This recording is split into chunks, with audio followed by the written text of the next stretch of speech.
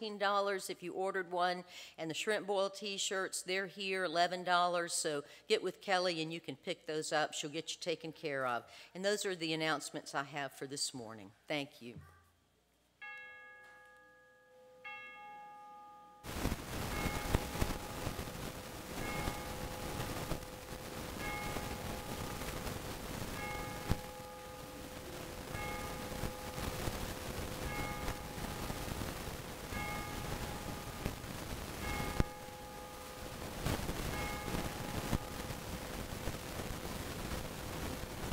Morning once again.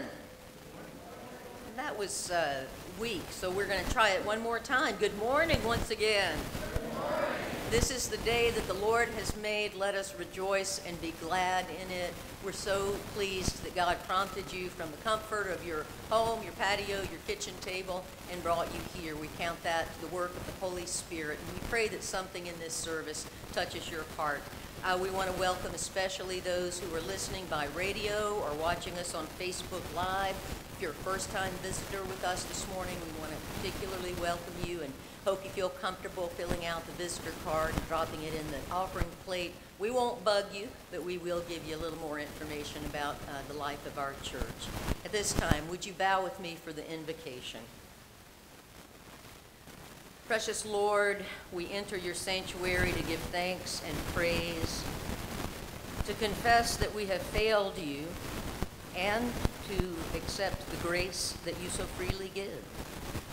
We gather in worship because you have called us to be a community of faith, a reminder that we are pilgrims together on this journey of faith. In this hour of worship, we ask that you might reveal yourself to us in some small way word or song, in prayers, in the expressions of our neighbor, or in the holy meal. We open our hearts to you, O Lord, and dedicate this time to you through Christ our Savior. Amen.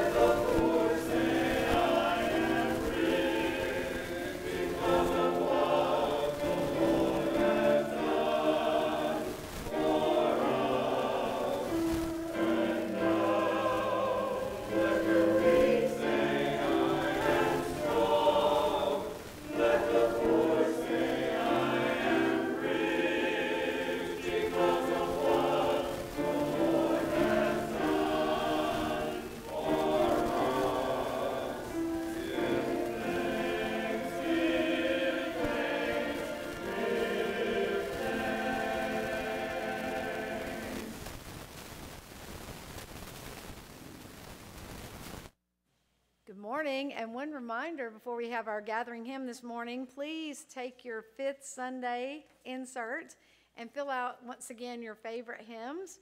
And especially if we didn't get to yours last time and I've not hit it yet over the summer, now into the fall, just make me a note at the bottom that says, You did not sing my song. Now, make sure you are here every week if you want to tell me that. Sometimes I think I sang a song and the person that requested it was missing that week. So, we're looking forward to another Fifth Sunday Sing in October. So, please take a moment and put your favorites on there.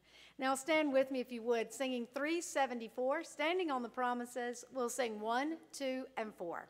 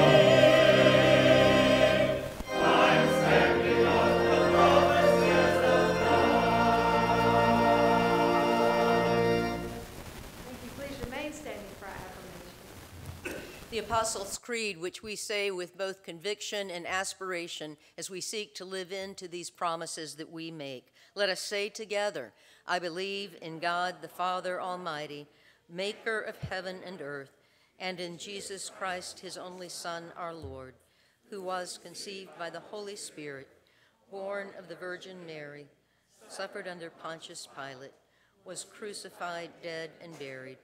The third day he rose from the dead he ascended into heaven and sitteth at the right hand of God the Father Almighty. From thence he shall come to judge the quick and the dead. I believe in the Holy Spirit, the holy Catholic Church, the communion of saints, the forgiveness of sins, the resurrection of the body, and the life everlasting. Amen.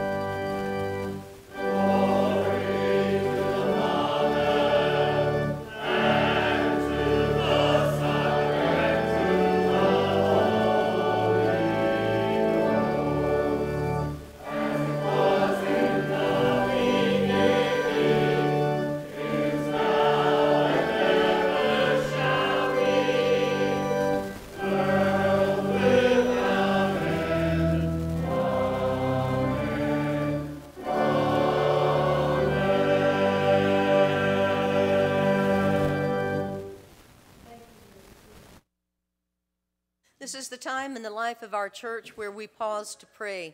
We're instructed to pray without ceasing, but on a Sabbath day, it's important to set aside special time that we might come in humility and thanksgiving with our petitions and our needs. Uh, this morning, uh, of course, I turn your attention to the back of the bulletin where you will find prayer requests we continue to lift up. I want to add to this uh, Sherry Oglesby, who had shoulder surgery on Thursday. She's doing fairly well, though the surgery was uh, more extensive than they had hoped for. And we certainly want to remember all of those who were in the path of Ian. That includes Florida's devastation and now up into South Carolina and further. We pause now for just a moment of simple silence so that you can lift up quietly your own personal prayers of petition and thanksgiving. And so in these moments, let us bow before our God.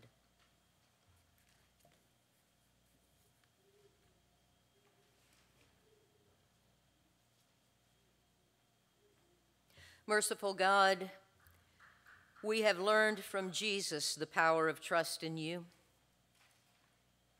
We confess that sometimes your ways seem a little too hard for us. But you have given us the gift of faith.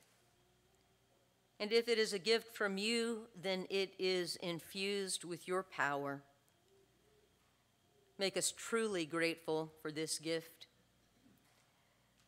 Deepen our understanding, we pray, of what it means to have faith in you. And teach us to exercise our faith in you in service to one another and in service to the world. Help us to understand that your love so that we might trust your will. Give us grace to live as your children in this world. And give us the confidence to know that in spite of us, your spirit is powerfully at work in this world, and we are not a lost cause. There is hope and help in you. Fill us with that spirit, we pray.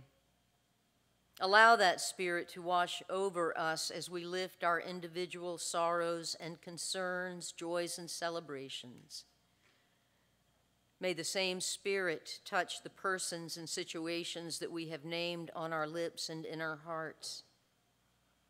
Today, O oh God, as we celebrate Holy Communion with the rest of the world, we ask that you would clothe us in righteousness so that we may be worthy guests at your table. And now, merciful Lord, in your mercy, we beseech you to hear our prayers. In the name of Christ, who came teaching us to pray when he said, Our Father, who art in heaven, hallowed be thy name. Thy kingdom come, thy will be done, on earth as it is in heaven. Give us this day our daily bread and forgive us our trespasses, as we forgive those who trespass against us. And lead us not into temptation, but deliver us from evil. For thine is the kingdom, and the power, and the glory forever. Amen. Let's stand again together for our offertory hymn, 714. I know whom I have believed, 1, 2, and 4.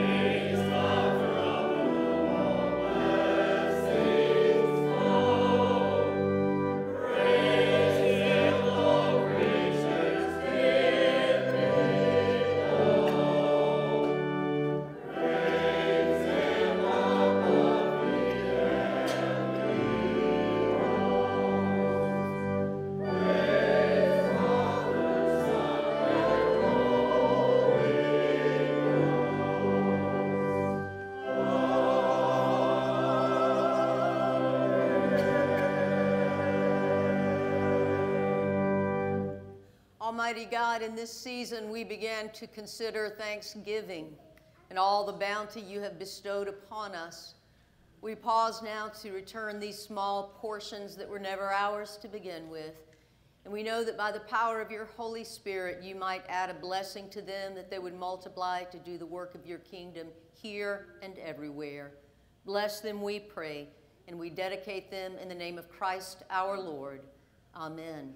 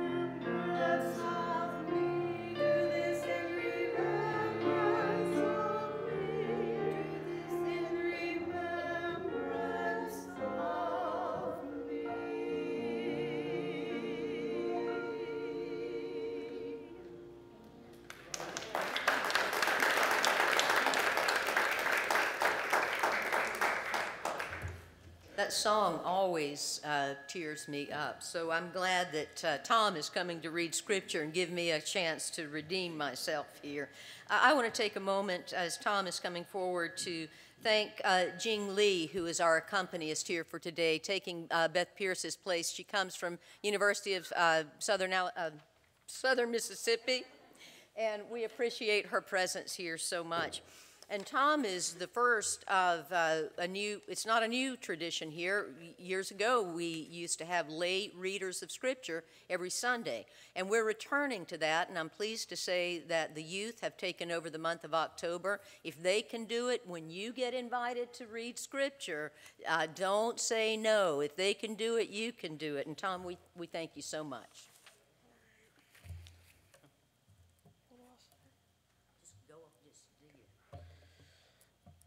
The, reading is from Luke chapter 17, verses 5 through 10. The apostle said to the Lord, Increase our faith. The Lord replied, If you had faith the size of a mustard seed, you could say to this mulberry tree, Be uprooted and planted in the sea, and it would obey you. Who among you would say to your slave who has just come in from plowing or tending sheep in the field, Come here at once and take your place at the table? Would you not rather say to him, Prepare supper for me, put on your apron, and serve me while I eat and drink. Later you may eat and drink. Do you thank the slave for doing what was commanded? So you also, when you have done all that you are ordered to do, say, We are worthless slaves, and we have done only what we ought to have done. This is the word of God for the people of God. Thanks be to God.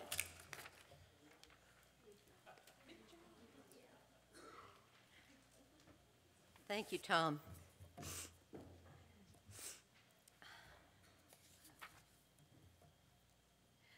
O ye of little faith. How often do we hear that expression? Well, this morning, uh, the invitation is to reconsider every time you make that expression, because the scripture this morning is about not the measure of faith, but the sufficiency of faith. And perhaps it will encourage you to look at a, a new way of bringing faith and having faith. Will you pray with me? And now, Almighty God, may the words of my mouth and the meditations of our hearts and each heart gathered here be acceptable in thy sight. O Lord, you are our rock and our Redeemer. Amen. This morning's passage can be difficult to unpack, I think. Uh, it was difficult for me to unpack anyway. Now, verses 5 through 6 are about faith, and that seems simple enough, but the question is is Jesus really just spending that time chastising his disciples for having so little faith? And what about verses 7 through 10? They're, they're the problematic ones. Now, they're actually about discipleship. That's what they're about. But then you, Jesus uses this illustration of a worthless slave to make his point.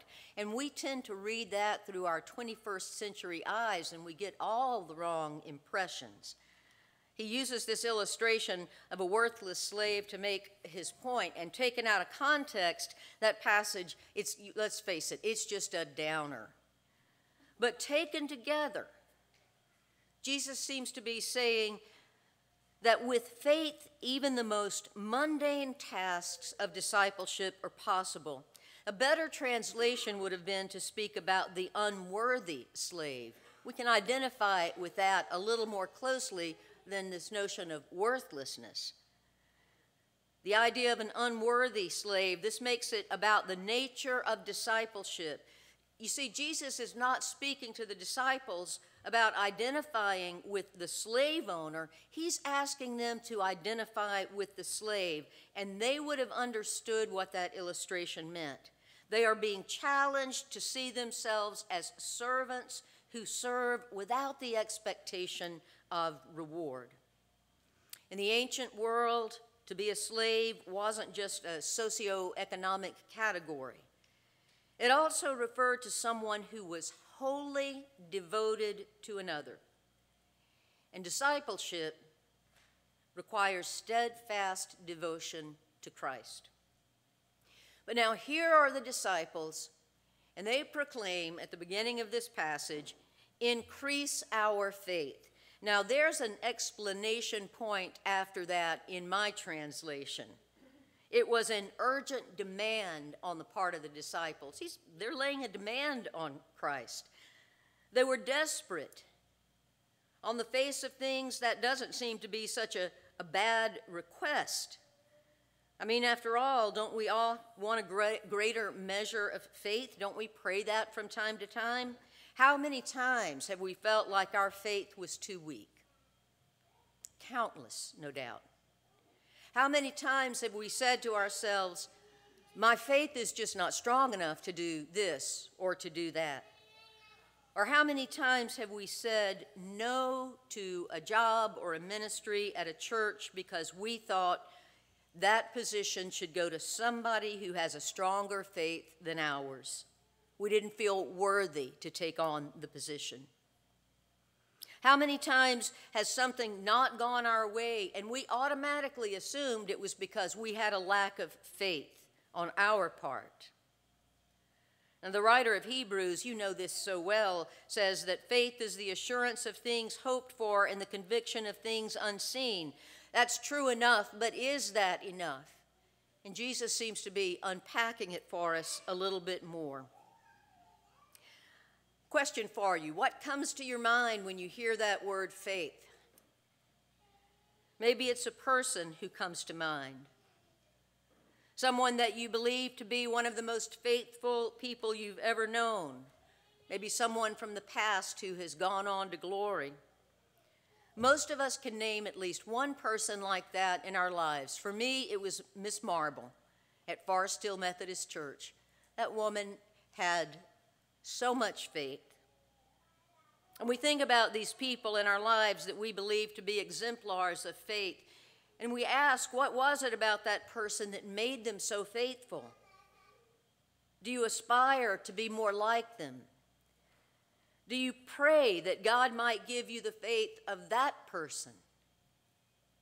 Well, the disciples insisted that Jesus increase their faith. In fact, they demanded it. They were desperate. They were fearful. And Jesus replied, If you had faith the size of a mustard seed, you could say to this mulberry tree, Be uprooted and planted in the sea, and it would obey you. But did you hear how he phrased that? He said, If you had faith the size of a mustard seed. In other words, Jesus' implication is that you don't even have faith the size of a mustard seed, a little bitty, teeny, tiny mustard seed. Y'all, Jesus is in a mood. He is frustrated with the disciples because they still don't get it. But to really understand this passage, we really need to go back and read the, the free, a few verses preceding it, because really it's verses 1 through 10 that should be held together. So verses 1 through 4 say this Jesus said to his disciples, Occasions for stumbling are bound to come, but woe to anyone by whom they come. It would be better for you if a millstone were hung around your neck and that you were thrown into the sea than for you to cause one of these little ones to stumble. Be on your guard. If another disciple sins, you must rebuke the offender, and if there is repentance, you must forgive. And if the same person sins against you seven times a day and turns back to you seven times a day and says, I repent, you must forgive, then you must forgive. Taken together, verses 1 through 10 is teaching the disciples four different things. It's warning them against causing others to stumble. It's challenging them to be forgiving and it's calling on them to exercise faith. And finally, it's reminding them of the duties of discipleship, the duties of a servant who serves without want of reward. So here's where we are. The disciples have been told, don't cause anyone to stumble and forgive endlessly. Now they suddenly think that they don't have enough faith to do even that these hard commands. And they know that the consequences for failing in these commands will be as drastic as being thrown into the sea with a millstone around their neck. It's going to be serious. They feel inadequate and they are afraid. It is actually fear that drives them to demand of Jesus that he increase their faith. Fear of failing and fear of punishment and fear of inadequacy you see, they are blind to what they already have. I want you to hear that again. They are blind to what they already have. They assume that they just don't have enough. They don't realize that what God has already provided is sufficient. And so they make a demand about quantity of faith, and Jesus, just like Jesus does, he pivots from the question and he changes it to a question of sufficiency of faith. You might think that Jesus would receive their request warmly, but instead his sharp, sharp response implies that they have really not understood genuine faith at all. And the question is is Jesus chastising the apostles for a complete lack of faith, or rather is he encouraging them not to worry about the smallness of their faith? I think it's both. I'd like to believe it's both.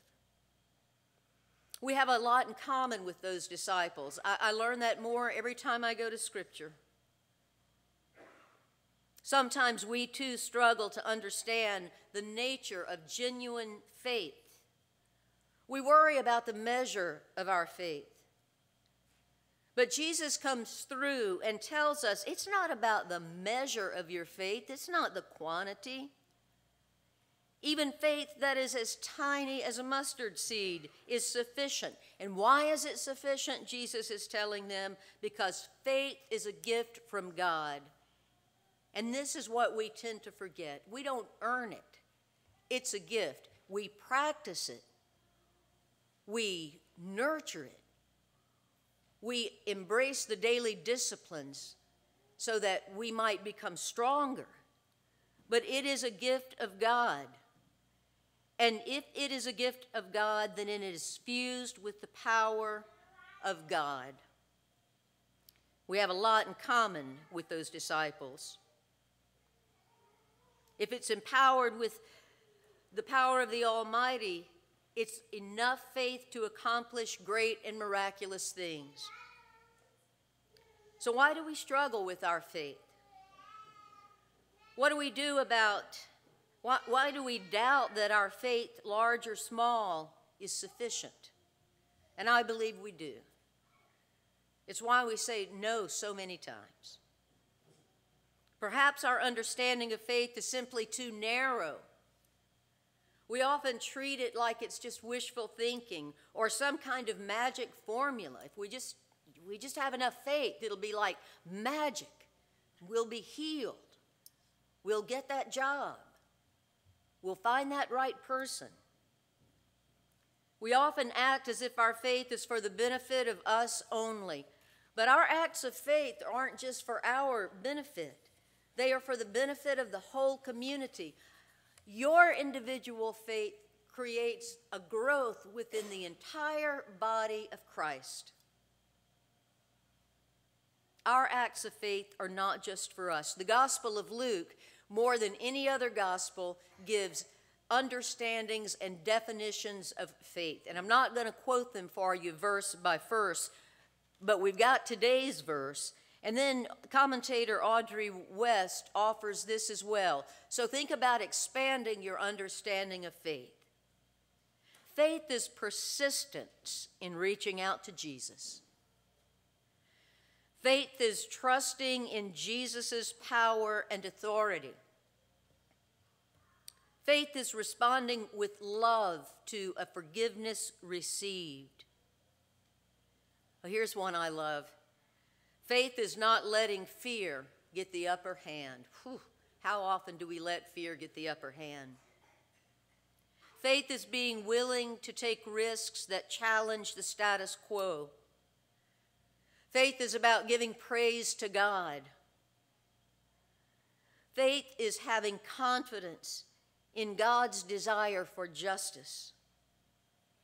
And finally, faith is being willing to ask Jesus for what you need. We've got to ask Him, y'all.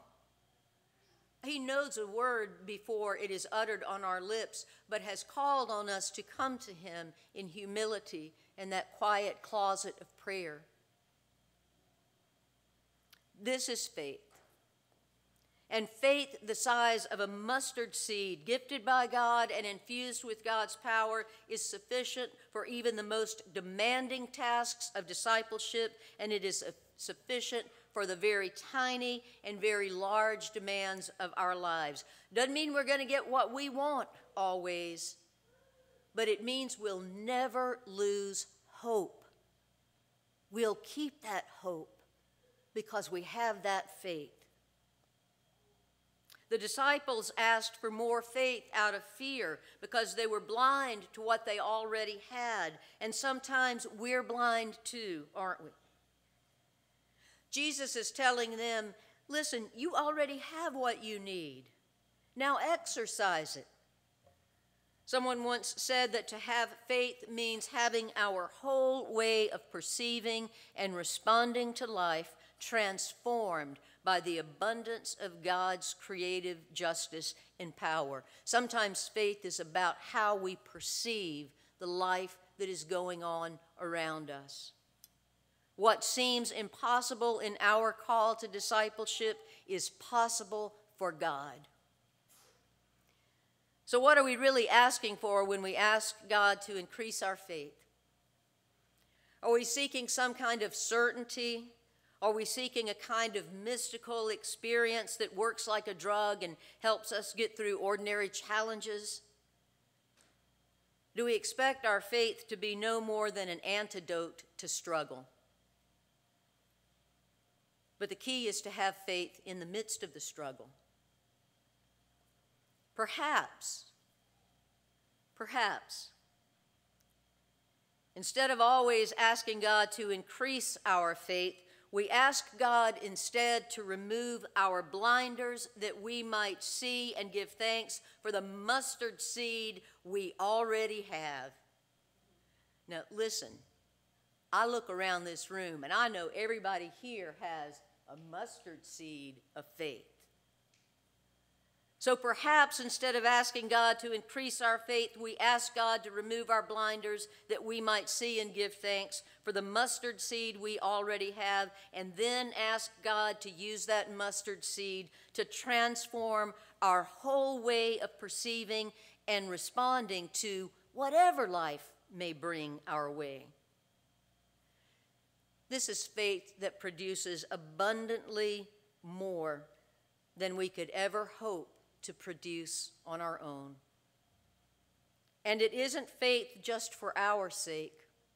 Here's the really good news it is faith so that God's kingdom might be realized here on this earth. Now that's good news. Let us hear it and believe. And this morning, let us all pause and give thanks for the great gift of faith that God has already bestowed upon us, and then seek to live fully into that faith, trusting that even the tiniest amount is sufficient. Will you pray with me? God, we confess that we often lament our lack of faith. We blame ourselves for not having enough faith. Perhaps at times this is true. But you have promised that it is not the quantity of faith that matters, that when it comes to you, and it always does, it is already sufficient, even the size of a mustard seed. And so, broaden and deepen our understanding of faith, and then teach us to share that faith on behalf of you, our God, and our faith giver. In Christ's name, amen.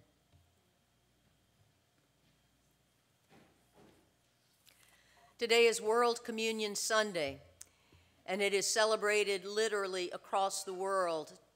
Churches who intentionally celebrate communion on this day that they might know they're doing it with their brothers and sisters in Christ in the body of Christ around the world. And so think about that as we celebrate this morning. Before we turn to page 12, I'm going to take a, a moment of personal privilege. and I'm going to tell you a story about communion that may help make it a little more meaningful for you. When I was the pastor of evangelism at the Church of the Resurrection in Leawood, Kansas, it was a mega church, uh, huge. We had six worship services. And on one particular Sunday, it was Communion Sunday, and I was in the main sanctuary. I was over in, in my little spot, and we celebrated by intinction. So we had one loaf that portion was broken off, and one cup, and it was dipped in. Well, on this particular morning, the family, the Bryce family, the, the Roberts family walked up to, to my station, and there they were, all three of them.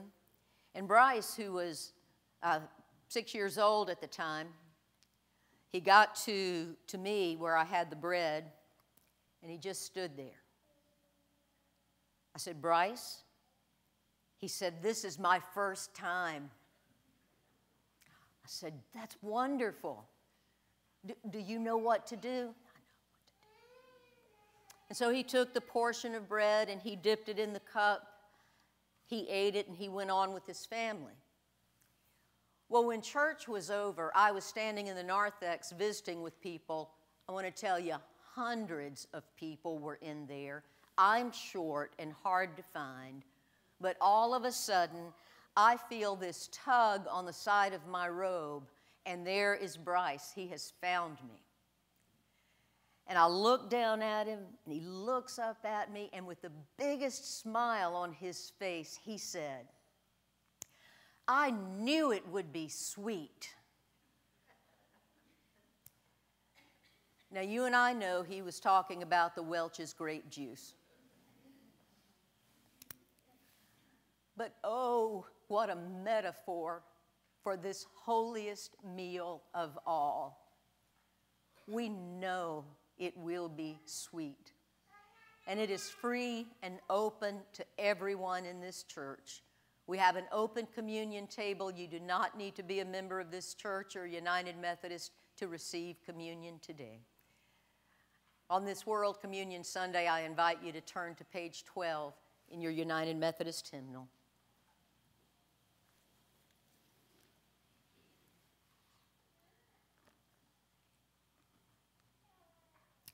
Christ our Lord invites to his table all who love him, all who earnestly repent of their sin and seek to live in peace with one another. Therefore, let us confess our sin before God and one another as we say together, Merciful God, we confess that we have not loved you with our whole heart. We have failed to be an obedient church. We have not done your will. We have broken your law. We have rebelled against your love. We have not loved our neighbors, and we have not heard the cry of the needy. Forgive us, we pray. Free us for joyful obedience through Jesus Christ our Lord. Amen. Hear the good news. Christ died for us while we were yet sinners. That proves God's love toward us. In the name of Jesus Christ, you are forgiven. Glory to God. Amen. And beginning with the great thanksgiving in the middle of the next page, the Lord be with you. Lift up your hearts. Let us give thanks to the Lord our God. It is right and a good and joyful thing always and everywhere to give thanks to you, Almighty God, creator of heaven and earth and so, with your people on earth and all the company of heaven, we praise your name and join their unending hymn Holy, holy, holy Lord, God of power and might. Heaven and earth are full of your glory. Hosanna in the highest. Blessed is he who comes in the name of the Lord. Hosanna in the highest. Holy are you, and blessed is your Son, Jesus Christ. By the baptism of his suffering, death, and resurrection, you gave birth to your church, delivered us from slavery to sin and death, and made with us a new covenant by water and the Spirit. On the night in which he gave himself up for us, he took bread, gave thanks to you, broke the bread, gave it to his disciples, and said, Take, eat. This is my body, which is given for you. Do this in remembrance of me. And when the supper was over, he took the cup, gave thanks to you, gave it to his disciples, and said, Drink from this, all of you. This is my blood of the new covenant poured out for you and for many for the forgiveness of sins. Do this as often as you drink it in remembrance of me. And so, in remembrance of these, your mighty acts in Jesus Christ, we offer ourselves in praise and thanksgiving as a holy and living sacrifice in union with Christ's offering for us as we proclaim the mystery of faith. Christ has died, Christ is risen, Christ will come again.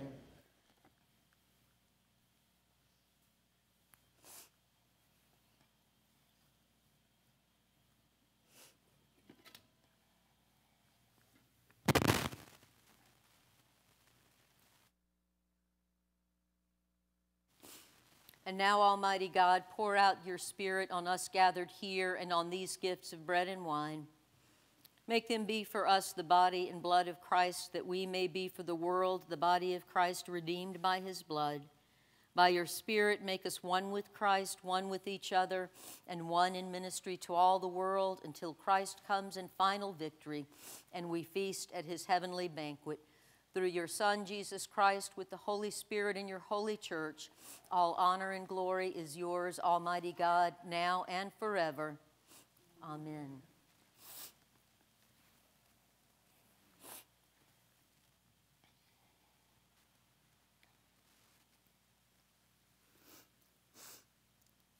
This is the body of Christ, and it is broken for you.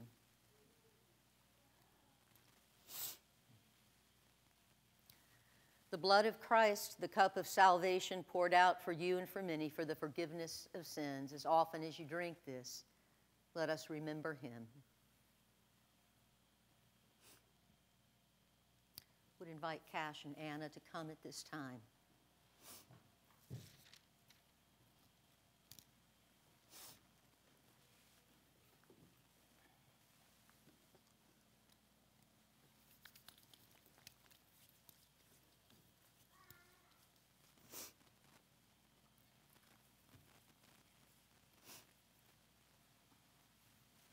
body of Christ is broken for you. The body of Christ, cash broken for you.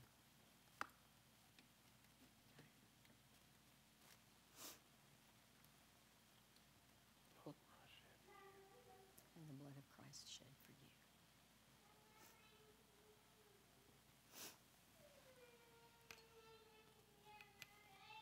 You can, you can just keep that. You come around here.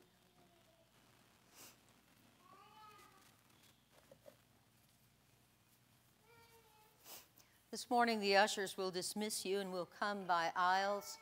As we always do, come, kneel as you're able at the uh, prayer rail. Communion will be served, and then we will dismiss you with a prayer after each um, group comes up. The table is set, the feast is prepared. Won't you come and receive?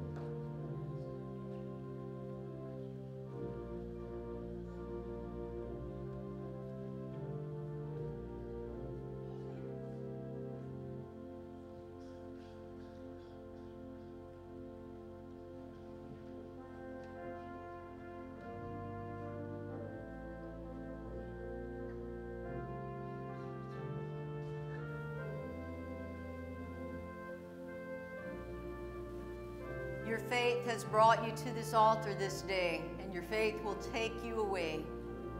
By the power of this meal, you have received even more. Go now, energized and refreshed, to share it with the world. Amen.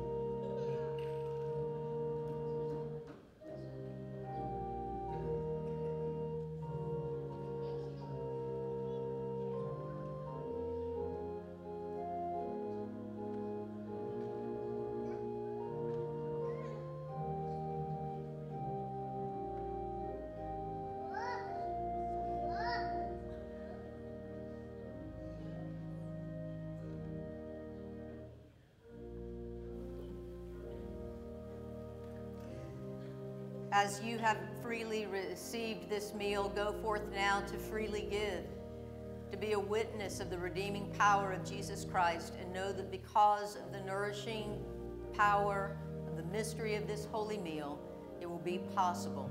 Go in faith. Amen.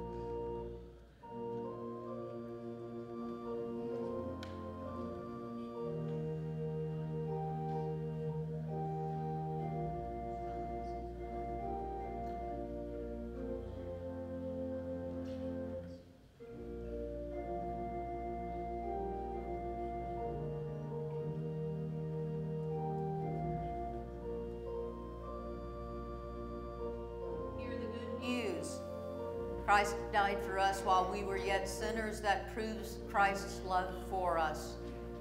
You have received that love in this holy meal. Leave in exchange the cares of your heart and go forth to be witnesses to the world beyond. Go in faith. Amen.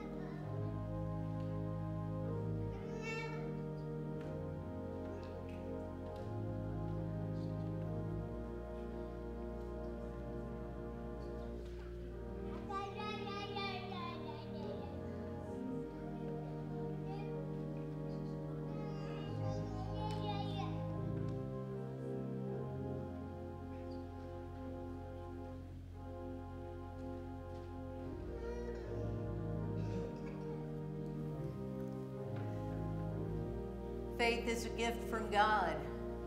It has brought you to this altar this morning. It will take you home and into your world. And it has been infused by the power of this holy meal. Strengthened by this meal, go forth to be the people of God and go in faith. Amen.